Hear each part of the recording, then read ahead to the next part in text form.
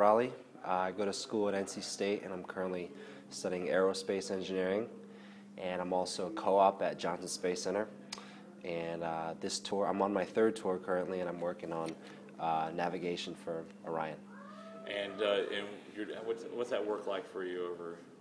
Uh, it's really it's really great. Um, like I said, it's my third tour, and um, what what I love about it is that it's it's everything's integrated. You get as a co-op, you get a taste of a little bit of everything that JSC has to offer, and you're not you're not cornered, you're not pigeonholed into one one thing, because uh, at this age you're, you're still trying to figure out what it is exactly you like, and so um, I love that I was able to work at the NBL my first tour, doing um, MOD stuff and being able to work and actually scuba dive with astronauts in the pool, uh, to working on in-house projects like Morpheus. Uh, back in last fall, I was working with EP4, the uh, propulsion branch. And um, this summer, I'm working on EG6, which is, uh, which is a field that's very uh, applicable to my studies at school um, in aerospace engineering. So um, this tour, I'm looking forward to being able to use what I learned in school and actually see it applied in in that in the work field. So, a lot of opportunity, a lot of mobility, a lot of just a lot of great, helpful mentors that that are are super smart, but also willing to help out whenever you need it.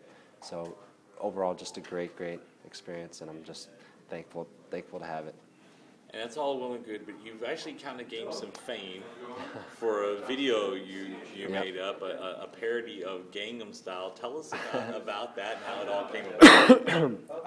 um, that's another great thing about being a co-op is that there's also a lot of uh, extracurricular activities that we do outside of outside of just working. We we have like outreach events where we go to elementary schools. We do uh, like homeless, like uh, food kitchen outreach, stuff like that.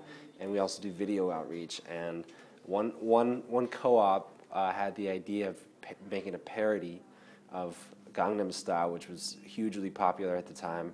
And uh, they brought it up at a meeting, and I volunteered to do it since I, I had some had some knowledge and previ previous experience working with recording songs and stuff. So um, me, Gary, and a few other people just got together and worked on the video on our free time, and, and uh, we had a lot of help from PAO as well in the astronaut office for allowing um, Clay Anderson, Mike Massimino, and Tracy Caldwell Dyson being being the video. So big thanks to them, and they, they were the real stars of the video, I think. And it was just a, it was it was so surreal filming with with astronauts, and and never did I ever expect I'd be doing that or have a video that would you know, become viral like that. But how many page views? I mean, how many views has it had now? Do you know? It was uh, close to five million, I think, something like that.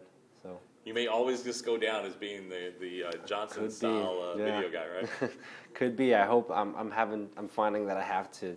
Uh, almost reestablish my professional credibility now that I'm back and working, and people just see me as this goofy dancing guy in the video. But you know, in a way, though, it reaches it. out to a younger generation. And absolutely, you know, how old are you, by the way? Um, I'm 26, yeah. so I'm actually uh, working on like a second bachelor's kind of, but also getting prereqs for a master's. So, um, but definitely, it, it, it reached out to a younger younger demographic, and um, a lot of teachers too um, tell me how much they they their students love it and how much they use it as like an educational tool, and um, I actually was invited to uh, SEEC this year, which is a um, Space Exploration Educators Conference, and um, you know, just just a lot of love from educators around around the world, really, just from that video. So it's it's truly truly awesome.